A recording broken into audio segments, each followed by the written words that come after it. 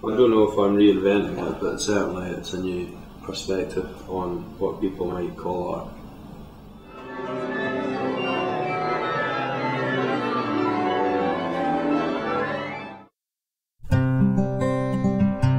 Gregory Sinclaire is one of the new breed of working class artists who rally against the established art scene. His work is a vicious diatribe against the celebrity infatuated culture we're a part of, and he makes no attempt to hide his political leanings. He has received stinging criticism from at least four quarters of society, most notably from feminist movement WABA. Despite being loathed by a large majority of the public, his work has been embraced by a few critics, and he has a very elite client base.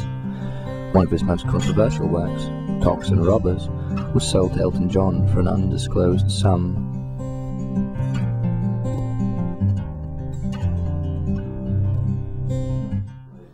For me, it is about subverting imagery which we're bombarded with constantly from day to day, but it's also about asking sort of questions to those who we find in this imagery, but also about taking art, you know, and feeling that you don't have to have some sort of license to, to be an artist in, in the form of a formal education, but can actually make art relatively easily, and that everyone should feel that they can do that.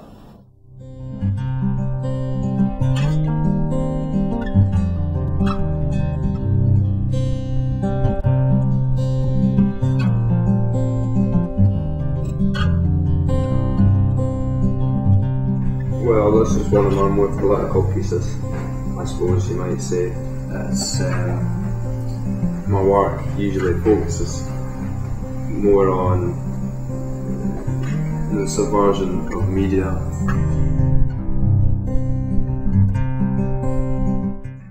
I've become more interested recently in anthropology and I'm of the belief that all people originate from uh, Africa, and that's really a statement about that.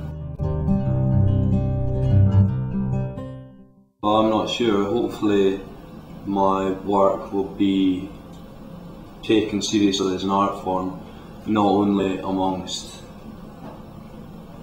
people in the, the galleries in London and Paris and all these places, but also taken seriously as an art form by everyday people who maybe have grown tired of being bombarded with false imagery. Gregory Sinclaire, thank you very much. Thank you.